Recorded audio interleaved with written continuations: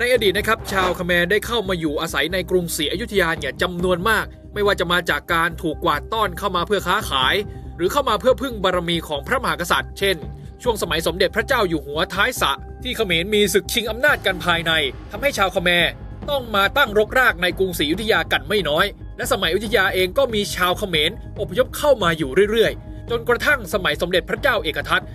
ก็จะมีเจ้านายเขมรลี้ภัยจากปัญหาการแย่งชิงราชสมบัติเข้ามาในอยุธยานะครับ นั่นคือกรณีของนักองโนนก็จะอยู่ในช่วงใกล้จะเสียกรุงศรีพศ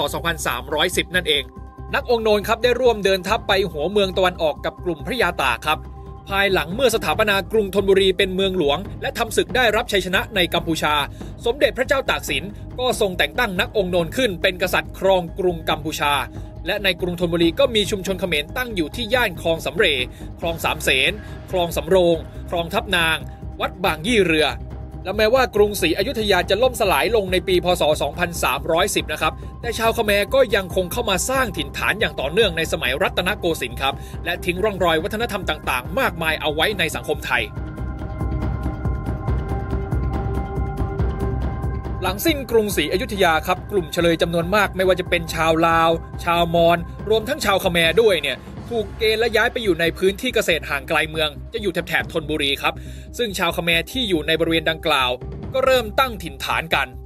ลี่ยนพื้นที่นอกเมืองให้เป็นชุมชนอาศัยของตนเองไป แต่พอเข้าสู่ช่วงราชวงศ์จักรีครับกลุ่มเฉลยศึกดังกล่าว ก็ต้องย้ายที่อยู่ เพื่อเปิดทางให้ค่ายทหารของเจ้าพระยามหาโยธา เจ่งคชเสนี และต้องละทิ้งพื้นที่เกษตรกรรมที่ทำไว้ครับ รวมถึงเข้าไปอาศัยในถิ่นฐานใหม่บนพื้นที่หนึ่งของวัดสะเกตด้วย ทั้งยังต้องช่วยเฉลยศึกคแมที่เพิ่งถูกเกณฑ์มาขุดคูเมือง และก่อสร้างสถานที่สำคัญในพระนคร และก็ไม่ได้มีเพียงแค่กลุ่มเฉลยที่ถูกกวาดต้อนเข้ามาในรัตนโกสินทร์เท่านั้นนะครับแต่พวกกลุ่มชนชั้นนำที่มียศมีศักดิ์ยังพลัดถิ่นเข้ามาด้วยเช่นกัน เหตุเกิดขึ้นในพศ 2325 ครับ ในสมัยพระบาทสมเด็จพระพุทธยอดฟ้าจุฬาโลกมหาราช รัชกาลที่ 1 สยามได้เชิญพระบรมวงศานุวงศ์จำนวน 5 พระองค์มาจากกัมพูชาครับ เนื่องจากเกิดปัญหาระหว่างสยามกับกัมพูชา หนึ่งในนั้นคือนักองค์เอง มาพำนักณวังหน้า ภายใต้การอุปถัมภ์ของอุปราช พอผ่านไปในปี 2326 นะครับ นักองค์เองได้ย้ายไปอยู่ที่สนามกระบือบริเวณบ้านโรงไหม ต่อมารัชกาลที่ 1 ครับ ทรงพระราชทานพระราชวังใหม่ หลายคนก็คงจะรู้จักกันในชื่อวังเจ้าเขมรนะครับ ที่อยู่แถบนอกคลองคูเมือง ให้แก่นักองค์เองไป แม้ว่าสุดท้ายแล้วนักองค์เองจะกลับไปขึ้นครองราชบัลลังก์ที่เมืองอุดง ซึ่งก็คือเมืองหลวงของกัมพูชาในตอนนั้นนะครับ แต่พระมารดาของนักองค์เองก็จำต้องพำนักอยู่สยามจนสิ้นพระชนครับ เมื่อชนชั้นเจ้านายจากเขมรย้ายมาพำนักที่สยามแบบเนี้ยนะฮะยังไงก็ต้องมีเหล่าขุนนางบริวารและครอบครัว กองกำลังไพร่พลมากมายพลัดถิ่นเข้ามาด้วยเช่นกันนะครับกลุ่มเขมรเหล่านี้ได้รับพระราชทานที่ดินให้อยู่แถบบ้านโรงไหม และบางลำพูบน ซึ่งอยู่นอกเขตศูนย์กลางเมือง โดยขุนนางนั้นถูกจัดให้อาศัยบริเวณทิศเหนือของวังหน้า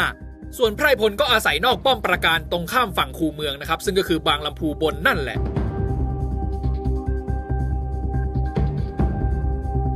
ชาวเขมพลัดถิ่นมามากขึ้นอีกครั้งครับ จากการกวาดต้อนเฉลยศึกเป็นหมื่นๆคนหลังจากสยามได้เข้าบุกกัมพูชาครับ จากเหตุการณ์ลอบปลงพระชนสมเด็จพระรามราชาธิราชหรือนักองค์โนน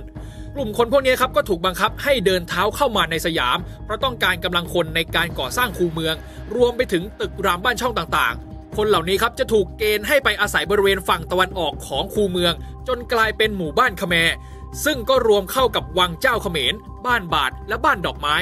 คนในหมู่บ้านเหล่านี้ก็ประกอบอาชีพมากมายครับ ไม่ว่าจะเป็นการแสดงละคร เต้นระบำ การแสดงกายกรรม หรืออาชีพที่เกี่ยวกับศาสนานะครับ ไม่ว่าจะเป็นของสังฆพันธ์มนต์ดำ โดยเฉพาะการทำบาตรพระครับก็ยังเป็นอีกหนึ่งเครื่องมือทำมาหากินของคนเหล่านี้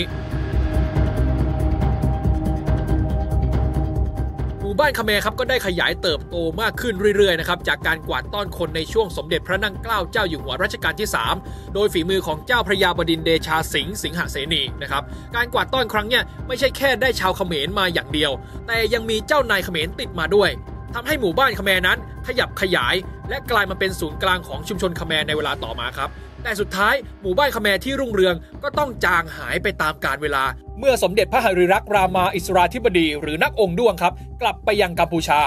แม้ว่าพระโอรสของนักองค์ด้วงจะยังอยู่ในสยามในฐานะตัวประกันหลวงก็ตามพอมาถึงปี 2401 ครับ การมีอยู่ของเจ้าเขมรก็ยิ่งลดลงไปเรื่อยๆ ครับ และถูกแทนที่ด้วยชั้นเจ้านายระดับล่าง รวมถึงสยามที่กำลังก้าวสู่ความเจริญครับ มีการเวรคืน มีการก่อสร้างถนนขนาดใหญ่เพื่อสลายชุมชนคแมร์และมีเหตุเพลิงไหม้ทำให้ชุมชนคแมร์เนี่ยถูกกวาดล้างหายไป แถบนั้นก็ถูกพัฒนาให้เป็นพื้นที่พาณิชย์ของกลุ่มคนจีนแทน พอมันเป็นแบบเนี้ยนะครับ กลุ่มชาวคแมร์ก็เริ่มกลายตนเองให้มีความเป็นไทย มากกว่าที่จะใช้เชื้อคแมร์เหมือนเดิม พอฟังถึงตรงนี้แล้วคุณผู้ชมพอจะโยงอะไรในสถานการณ์ปัจจุบันได้หรือยังครับ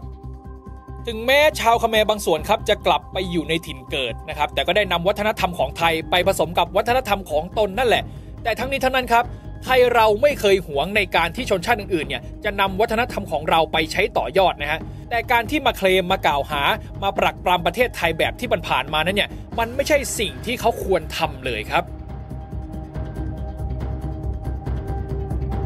มาร่วมสนับสนุนท็อปนิวส์นำเสนอความจริงได้แล้ววันนี้ เพียงกดปุ่ม Super Thanks แล้วเลือกจำนวนเงินตามที่ต้องการได้เลยครับ ขอบคุณครับ